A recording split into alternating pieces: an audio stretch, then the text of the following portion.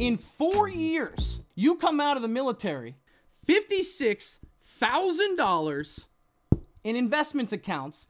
You didn't have to sacrifice anything. I looked into this stuff years later, and these were some of the, the worst. If you play your cards right, you've set yourself up for life. I'm 21 going to the military next month. When should I start investing? Here's what I'm gonna tell you about military, okay? As somebody who went the military, learned from my mistakes, made some mistakes. Let me show you something right here. I don't know if they still do this, but when I went in and I got out of boot camp and I went through San Antonio, Texas, I kept running into these people that told me about compounding interest. It was the first time I ever heard about it. And they were good. They were good at selling. They're like, hey, do you know that all that money, that $3,000 that you made during boot camp that you didn't spend and you're 18 years old, you never had that much money in your in your life. Did you know that if you were to take that and you were to take it all or 2,000 of it and invest it in this this uh, fund and you added only $100 per month every month and you're in the military for 20 years by the time you retire you're going to be this 2000 plus 100 a month you're going to have like $65,000 or some crazy number like that and I was like, oh shit, that's a lot of money. And I saw a lot of people sign up for those fucking things. The reason I didn't sign up for it was number, one, I was 18, I had money. All I wanted was booze and. Sorry, mom. I'm. Uh, babe. My daughter, she reads this. That's all I wanted at 18. But a lot of people got suckered into this. Now, they didn't do this on base. It was, I noticed that they were capturing people off the base and they were getting into it. I looked into this stuff years later and these were some of the the worst. These guys were charging 5% management fee broken up fucking quarterly. And this was the low end. It was between 5 and 10%. And they broke it up quarterly. It was insane. It was basically a loan service. Now, this was 2003. So obviously there was a lot less regulations than there are now. So to my guy who's going to military, says he wants to invest, what should I do? You should absolutely fucking invest, and I'm gonna tell you why. This will be the only time in your life where you won't notice the money gone. Do you wanna know why I say that? Because you have zero bills that you need to survive. You are the one person in the world at 18 or 19 or 20 who can pay absolutely nothing out of pocket and survive. Not that you will, but you can. So, going into the military, number one, don't get married. It never works out. I don't care how fucking awesome your girlfriend is. And military divorces suck.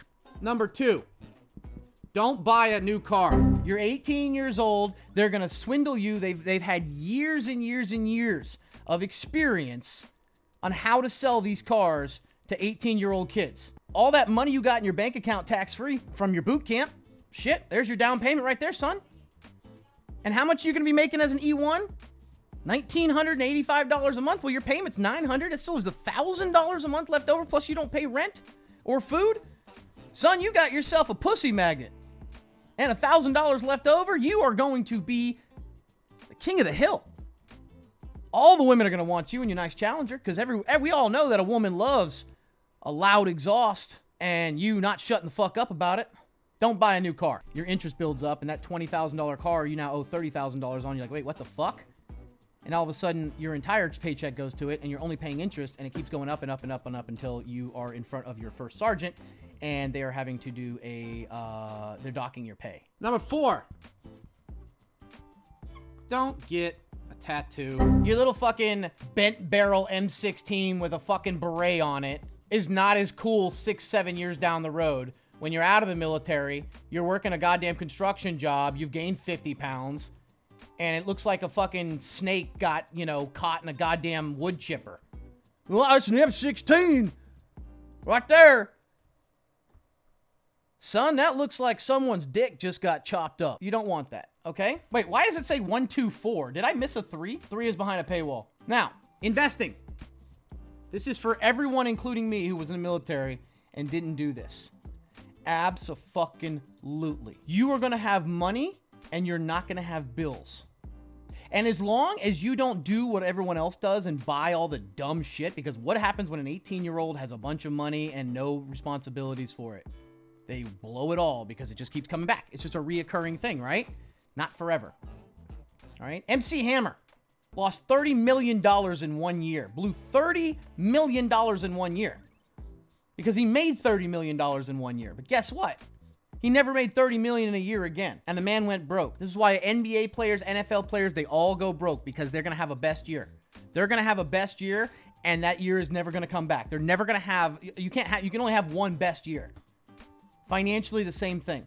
So, you get this opportunity. You could still here's the fun part. You could still go out and drink with your friends with your fake ID that somebody pulled from a, a, a, a you know an ECP at the front of the gate and you paid 50 bucks for it. And you get to you know your buddies that are older that are that go in will will you know they make a killing. By the way if you're if you're 20 going in you're 21 listen do not do not ever buy alcohol for somebody underage. But what i will say is that there were people in our unit who were 21 years old who made a killing buying booze for us across the street at the px because you know you give them 50 bucks they'd go get you know $30 worth of booze and keep 20 and they did that 10 times a weekend they were fucking just making money illegal don't do that so, when it comes to investing, I know that it's different now. They actually offer you an investing account. They didn't when I was in. But investing is insane because let's say, what is the average pay now for an E2? $1,833. Plus, it's going to go up by 8.7% this year. So let's call it, let's call it two grand. That's 2K per month. And guess what? Does anybody know why military and retirement, uh, military and government pay like that is awesome? No tax. That means you are making $24,000 per year clear. $24,000 per year net. So let's just pretend that this is uh, with taxes, right? So we'll call it 30K, right? So we'll call it 30K for normal people. But even though your barracks are shit, it's free. So even the best studio apartment in most places is $1,000 a month. So guess what? We're going to add another $12,000 there. Your food is covered if you want it to be, or it's cheap. You can go to the chow hall if you want. So we'll call that another, what, $300 a month in food you save if you really want to. Obviously, you're not going to on the weekends, you're going to enjoy, but $300 a month. So that's another $4,000 a year. Everything you purchase on base is tax free. So let's say you do you know, you get a TV, you get a Xbox, you get games, you go buy it at the PX, you get it all tax free. We'll call that another thousand dollars a year. You don't need a car because you're on base. Everything is on base. If you have to go on base somewhere, they're gonna give you travel, right? Like there's like when we went to the armory, we, we went up and the, the bus took us out there. Or usually the it's right next to your your your your barracks wherever you live, so it's right downstairs or, or nearby. You can walk to it, so you don't have to have a car. You can Uber it on the weekends. It'll save you a lot more money. You don't have to pay insurance and shit. So why get that $27,000 fucking car for no reason? So there's car and car insurance. So you're talking another seven, $8,000 a year. I'm not taking away any of your expenses. You're having a good time on the weekend. You're buying an Xbox. You're, I'm not taking any of that away. I'm talking about expenses. No gym membership required. Not much in the way of, of laundry and clothes because you know you're always you're always wearing your uniform anyways. Now I want you to take all of this into account. Let's just take the basics here, right? 40, 50, 55K a year. Gross if you were to add that up. That's how much money you make because you're minusing expenses that most people have to have plus the money you make tax free. That's the equivalent. But since you're not making all this money, let's stick to the 24K a year. You don't have to pay anything. Let's say that you like to splurge and you want to spend $200 every weekend. Ubers, drinking with your friends, going out to eat. $200 every weekend. That's $10,000 a year. What 18 year old can't splurge and live on $10,000 a year? What does that leave you? $14,000 per year, give or take, that you can put away. Now, obviously, there's caps to this, but you can do your military TSP or whatever the fuck it's called, and you can open an IRA. I believe. I haven't, I'd have to double check on that. I haven't ever looked at IRA and military and you fill it up. You had a Roth and a TSP? Exactly. You fill up your Roth and TSP at $14,000 a year. In four years, you come out of the military, $56,000 in investments accounts. You didn't have to sacrifice anything of enjoyment. If you get deployed, you have even more money because the $10,000 that you would have spent, you can't spend. Plus, you get even more money while you're deployed and you've got your college paid for. So you have no student loans. You tell me another 22 year old out there who has 56,000 minimum in their in their retirement account and no fucking student debt. If you play your cards right, you've set yourself up for fucking life. Now, I'm not telling anybody to go into the military. I am not a bootlicker. I am a vet myself. I am a combat vet. Okay? I went into the military because it was the only opportunity I had.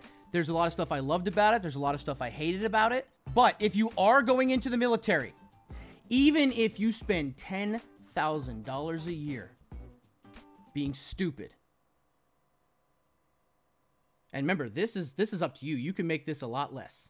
Your TSP, your Roth IRA, and your GI Bill. You walk out at 22 years old, most likely have a career set up depending on what you do. You have $56,000 minimum. That's not if the market's going up during that time. And no loans. Find me another 22 year old out there in America who had nothing at 18 and has that at 22. Zero college debt. And $56,000 in a retirement account. Mustaki, how come all vets don't do that? How come all young kids aren't doing it? Because no one knows this shit. No one's taught this shit. You're 18 years old, you're given a paycheck, a gun, you're made to feel like you're you're fucking invincible. Then what? You think there's anybody on base teaching them this shit? Nah, they don't give a fuck. The government doesn't want you to save this money. They want you to spend the goddamn money. I'm just telling the guy who who asked Stocky, I'm about to go in the military. Do you have any advice for me? This is where for investing. This is where we came up with that. Okay? Now, there's a lot more advice I could give you about being in the military because I made a lot of mistakes when I was in. I did a lot of good things too. But I was in years ago and I was a piece of shit. And if you guys are going into the military or in the military and don't know how to start with this, they don't tell you about this. And the people, the best job in the military has to be fucking finance. Like, do they have a financial advisor? Because if they do, nobody fucking goes to them. They're probably out golfing all day.